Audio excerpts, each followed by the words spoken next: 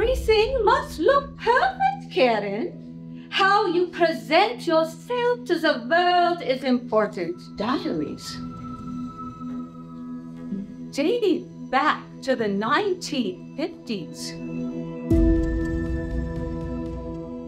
A few years after my mother's passing, the mystery of the woman my mother had been beckoned.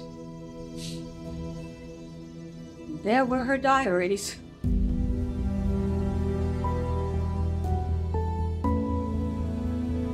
Mirror, mirror on the wall, who has the most beautiful mommy of them all?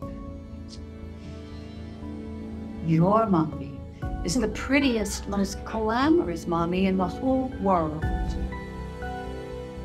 There was no room in your mother's world for the untidiness of daily life. I feel like I am having a nervous breakdown.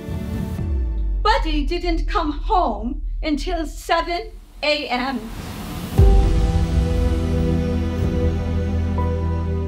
You are a reflection of me. You need to be perfect too. No stains on your clothes, no spills on the rug.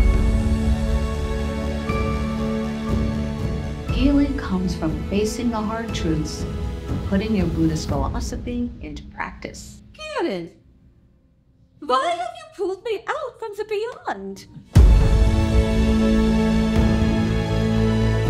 I have questions. Well, since you've been reading my diaries, you probably already have the answers.